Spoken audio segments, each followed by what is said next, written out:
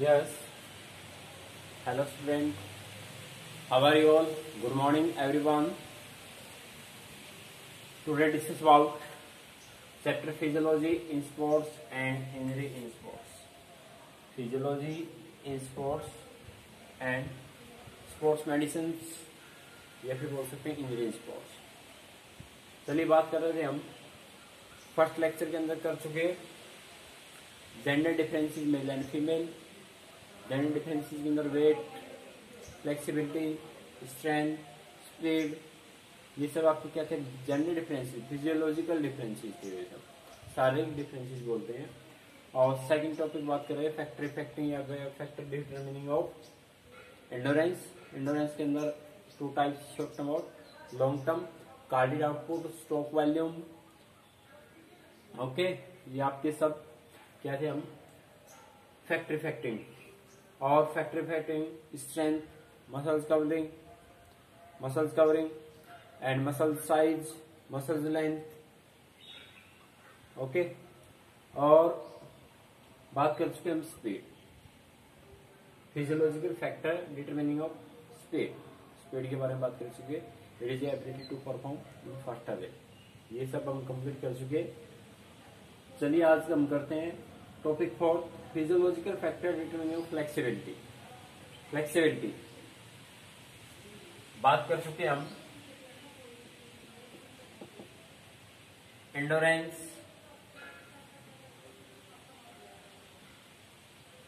speed strength. And gender differences. Right. चलिए flexibility की बात करते हैं। What is flexibility components of physical fitness what is flexibility flexibility it is ability of joint to move to maximum range. Flexibility is an ability of joint to move in maximum range. Flexibility is of two types right flexibility क्या है? Joint की ability है, जोड़ की ability है। जिसके अंदर आपके मेन टाइप्स ऑफ़ ज्वाइंट की बात करते हैं। Immobile joint mobile joint and free mobile joint types of joint three types immobile joint mobile joint and free mobile joint free mobile mean ज़्यादा हलचल वाले जोड़ बोलते हैं for example bone shoulder joint shoulder क्या बोन शोल्डर ज्वाइंट है। अगर hands को ऊपर की तरफ़ और अदर शोल्डर को टच किया, क्या है आपकी? ज्वाइंट की एबिलिटी है और क्या है? मीन किस एक्सटेंशन पोजिशन में या किस डायरेक्शन में, कितने डिस्टेंस तक उसको ओपन कर सकते हैं राइट तो इज़ फ्लेक्सिबिलिटी क्या है? Flexibility ability of joint move to maximum range two types active flexibility and passive flexibility passive flexibility and active flexibility ये टू टाइप्स चलिए बात कर लेते हैं पैसिव फ्लेक्सिबिलिटी और एक्टिव फ्लेक्सिबिलिटी पैसिव फ्लेक्सिबिलिटी किसको बोलते हैं? पैसिव मीन किसी भी एक्सटर्नल हेल्प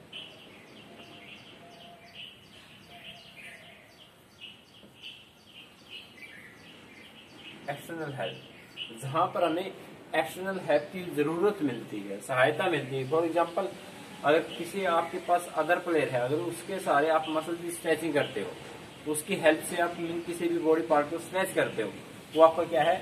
एक्सटर्नल हेल्प में आएगा और उसको हम क्या बोलते हैं? पैसिव फ्लेक्सिबिलिटी बोलते हैं। मीन किसी भी एक्सटर्नल हेल्प के साथ उस फ्लेक्सिबिलिटी को इंक्रीज किया जाए, या मसल्स को स्ट्रेच किया जाए, वो क्या बोलेंगे हम? Passive flexibility for example medicine ball की बात करते हैं।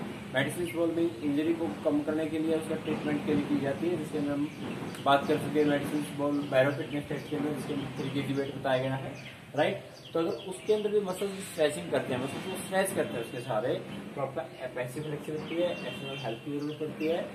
एक्टिव फ्लेक्सिबिलिटी अपने आप। और एक्टिव फ्लेक्सिबिलिटी भी टू टाइप्स है।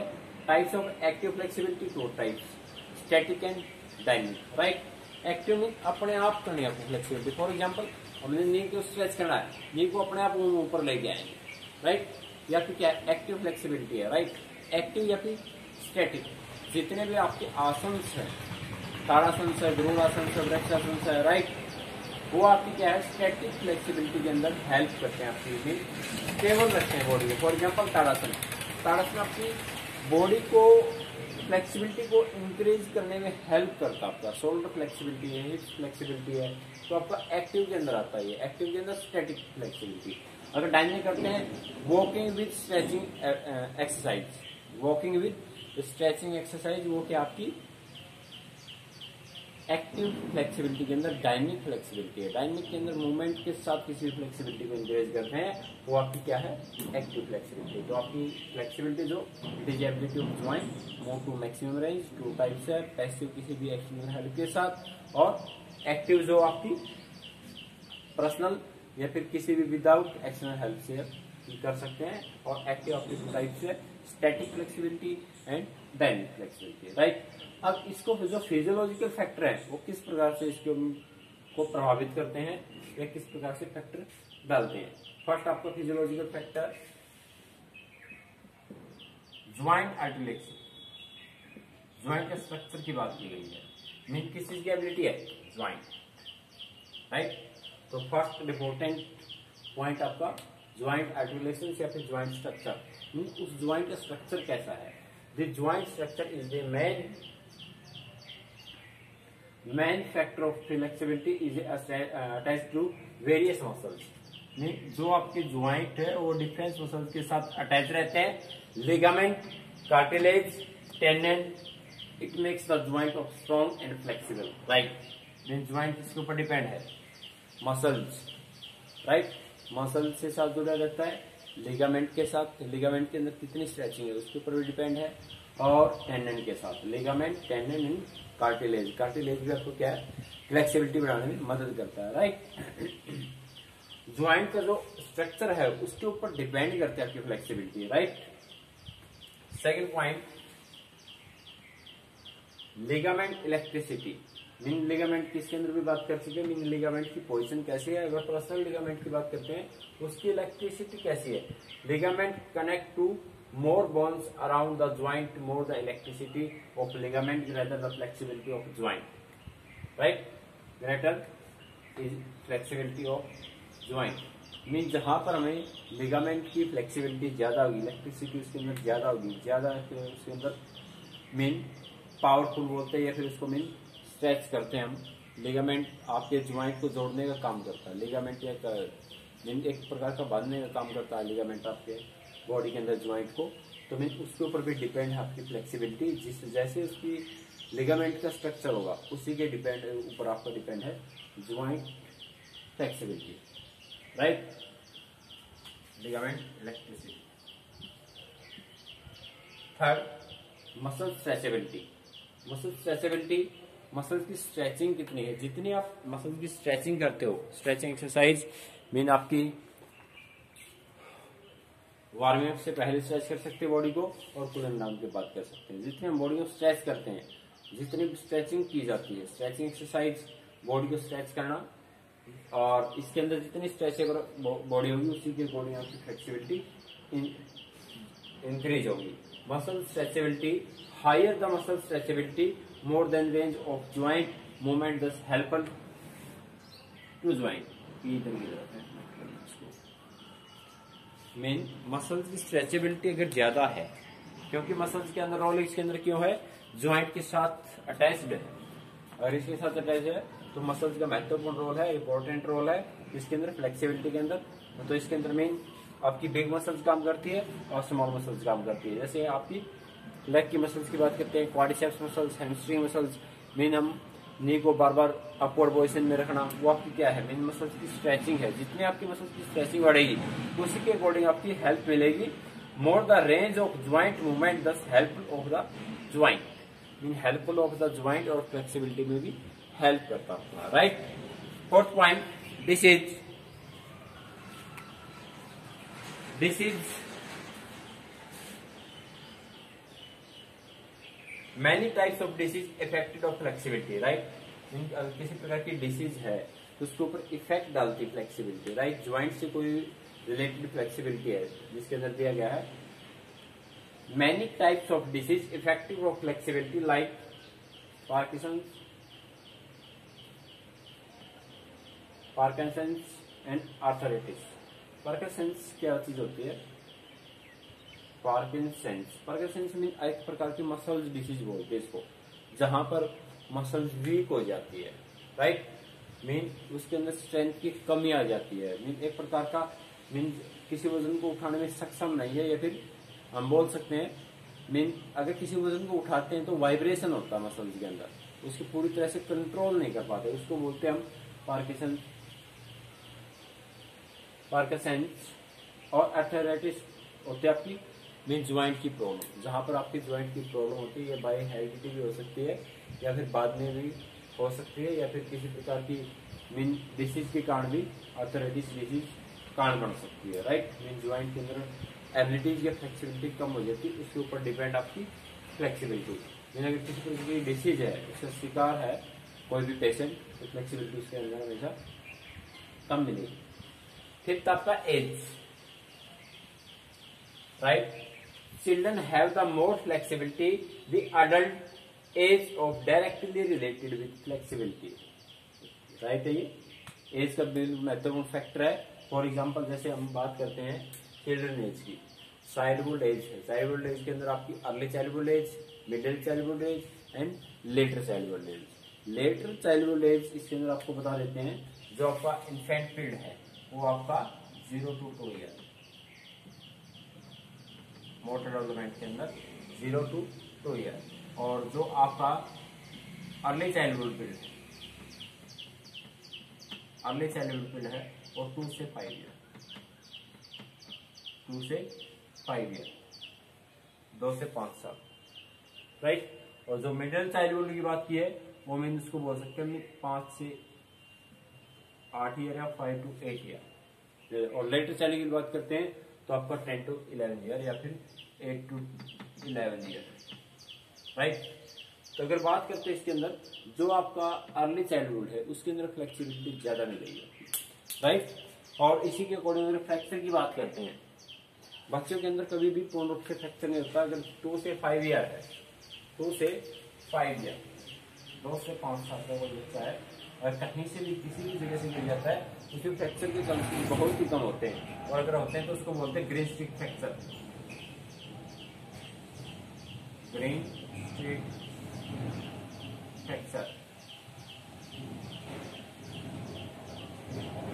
green stick fracture थोड़ी सी स्पेस कम है ग्रेन स्टिक फ्रैक्चर के अंदर क्या होता है? जहाँ पर बोन टूटने की बजाय, हड्डी टूटने की बजाय बैंड हो जाती है। फ्लेक्सिबिलिटी ज़्यादा होती है, इसलिए वो बैंड हो जाती है। उसको बोलते हैं ग्रेन फ्रैक्चर वो आपका अर्ली चाइल्डहुड एज के अंदर होता है या मिडिल चाइल्डहुड एज के अंदर? तो इसी के अंदर वही चीज़ दी गई है, जो एज फैक्टर है फ्लेक्सिबिलिटी का। Children have the more flexibility mean एक बच्चों के अंदर मोर ज़्यादा फ्लेक्सिबिलिटी होती है एक अडल्ट एज के अंदर। जैसे कोई ट्वेंटी ईयर का या ट्वेंटी फाइव ईयर के कंपैरिजन ट्वेंटी फाइव ईयर की कंपैरिजन पाँच साल का जो बच्चा है, उसके अंदर आपकी फ्लेक्सिबिलिटी ज़्यादा मिलेगी right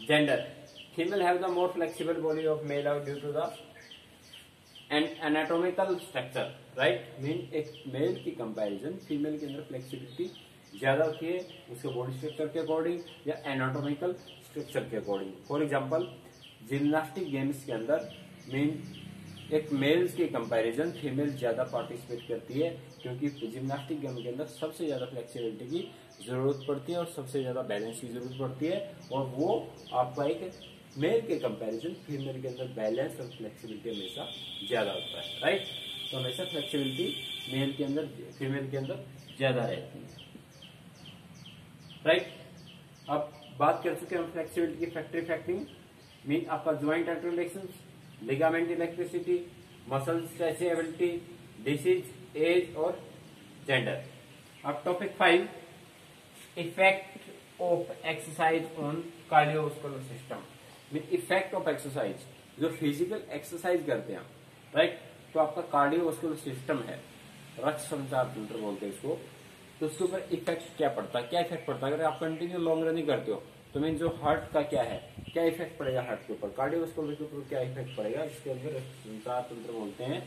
तो इसके अंदर आपका फ़र्स्ट पॉइंट है hypertrophy of heart hypertrophy of heart तो इसके अंदर क्या आपका हाइपरथेरेपी ऑफ़ हार्ट के अंदर mean with the regular exercise the hypertrophy of heart of take place there thus there is increase of stroke volume mean stroke volume को increase किया जा सकता है। आपको पीछे भी बता चुके मीन 72 मिनट पर मिनट आपकी पर बीट और पर बीट आपकी मीन ब्लड सप्लाई आपकी स्ट्रोक वॉल्यूम और one minute volume of cardiac output एक मिनट के अंदर इतना ब्लड सप्लाई है आपकी क्या है? कार्डिक आउटपुट है और एक बीट के अंदर जितना आपका ब्लड सप्लाई होता है आपकी स्ट्रोक वॉल्यूम है।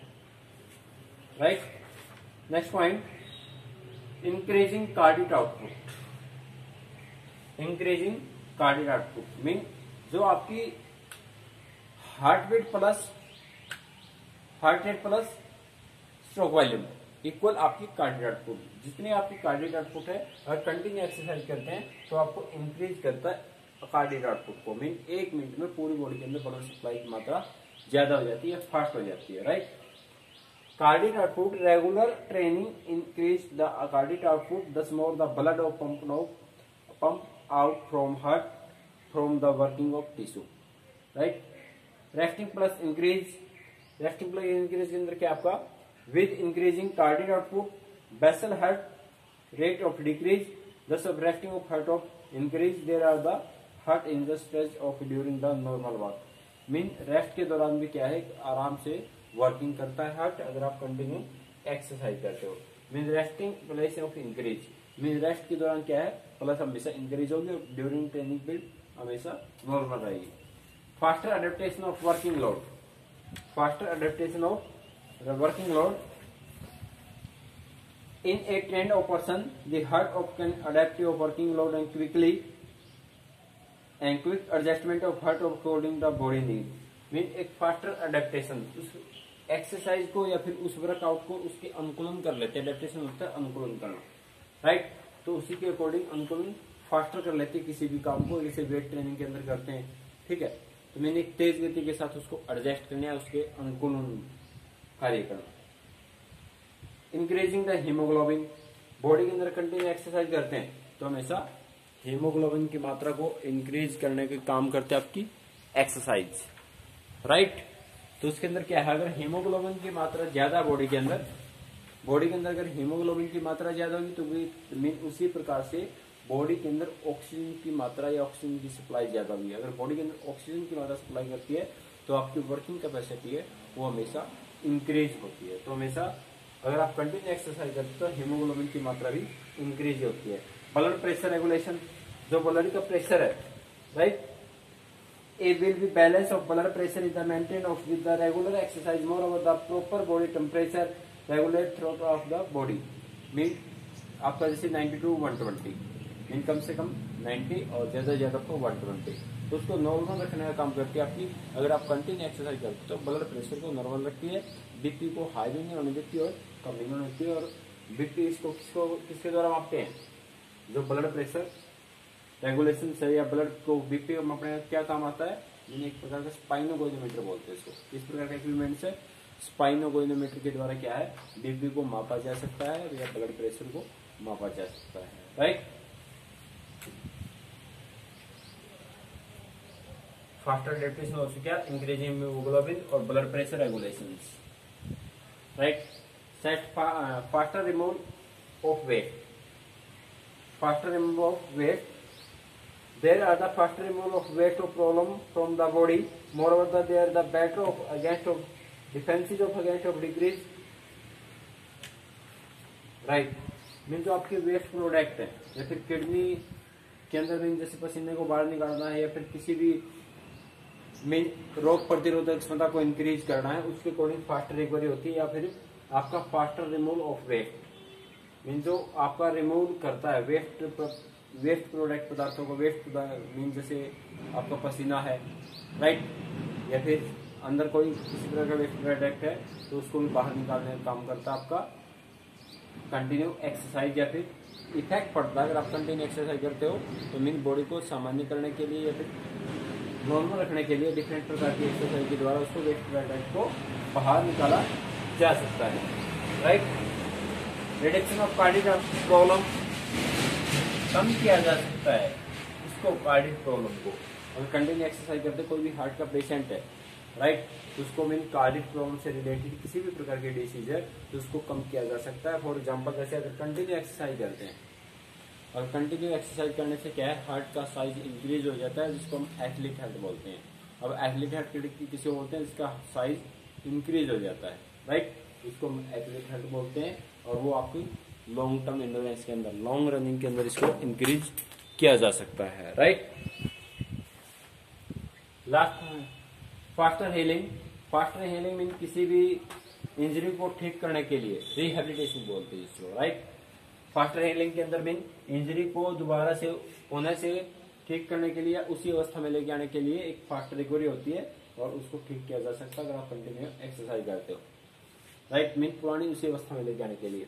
कार्डियोस्कोलर सिस्टम इंप्रूव और तो आपको पूरा रक्त संचार तंत्र इसके अंदर इंप्रूव होता है। जितनी आप एक्सरसाइज करते हो, उतनी बॉडी फिटनेस को इंप्रूव किया जा सकता है और आपके डिफरेंट जो इंटरनल ऑर्गेन्स है, उसको भी अच्छे से चलाने के लिए क्या है? डिफरेंट प्रकार की लॉन्ग रनिंग मैराथन आप मैराथन कंटिन्यू एक्सरसाइज करते तो आपका physiological effect of exercise cardiovascular system में महत्वपूर्ण इफ़ेक्ट पड़ता है। कार्डियोवास्कुलर सिस्टम के ऊपर अगर आप कंटिन्यू एक्सरसाइज करते हो। तो आपका कंप्लीट क्या है। इस लेक्चर्स के अंदर आपकी टू टॉपिक्स हैं। Physiological factor flexibility and effect of exercise cardiovascular system right तो इसको वन वन लाइन के अंदर एक्सप्लेन कर लेना। जिसमें आपकी टेन पॉइंट है तो टेन लेना होगी okay thank you have a nice day okay.